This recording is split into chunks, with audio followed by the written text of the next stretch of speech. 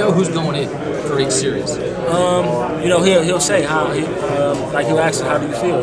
Can you go? Can you go? If not, you know, get somebody. That's the thing. We have we have a lot of good players on the defensive line, and you know, everybody's good. And, you know, just ready for whatever. So the number one thing is to keep fresh guys out there. Is that the top goal? Definitely, definitely. We all we all can play. You know, that's the scary part. We all can play, so we're always gonna have a, a fresh body inside. So do you lie sometimes if you want to keep playing? Do you say, "Yeah, I feel great even if you're tired"? You know, you, you can't be. That's, that's one thing the guys say. Don't be selfish now. If you're tired, come on. Like, I want to get something too. So no, you, if you're tired, you're tired. Come on out. But you lied maybe like one time. Yeah, of course. Hey, are you on punt block?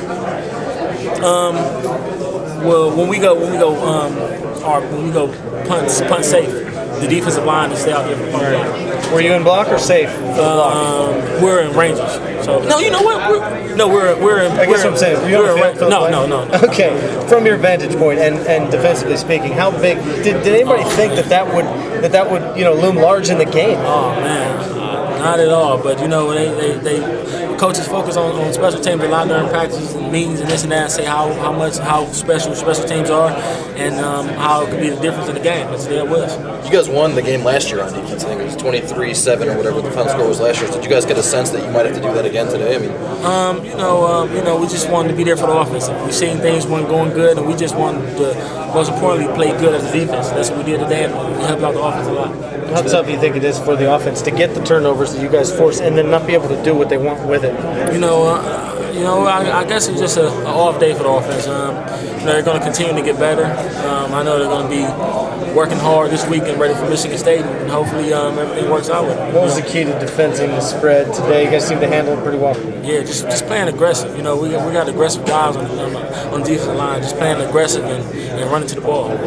Talk about your play that, that uh, caused fumble. Second week in a row, I think you caused a fumble. Just uh, how important that is for the defense to get those turnovers. Uh, I, I, I mean, you know, just just doing my job. You know, um, being where I'm supposed to be when called upon, and you know, good things will work out for you. Lawrence Wilson, if uh, something happens, he's going to miss the game or whatever his situation is. How big a blow would that be? You guys had to play the whole second half without him today. Uh, you know, Lawrence is a, is a key player on this defense, and you know, uh, one thing about playing at Ohio State, you always get guys that, that can back this, this equal talent that can back them up. So you know, hopefully Lawrence, um, he's a fire. He, I mean, Lawrence should be back. So I mean, you know, hopefully he'll be okay. But if not, you know, we'll we'll get in there and we'll we'll, we'll make up for it. If this was a sideways step today, coming off a big win against Wisconsin, you go to a tough place next week against a team that's on a roll. You know, we just got to prepare. Preparation, um, uh, hopefully work out in our favor and go out there and play hard and hopefully come back with a win. Are you guys on the defense? Are you AJ Trapasso's biggest cheerleaders?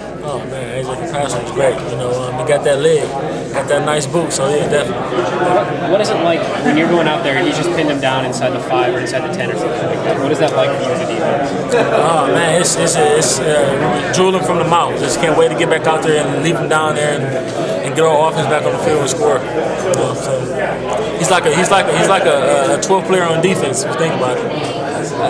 Are you familiar with the term Tressel ball? Was that Are you familiar with the term Tressel ball? Russell ball? You haven't heard that before? Just curious.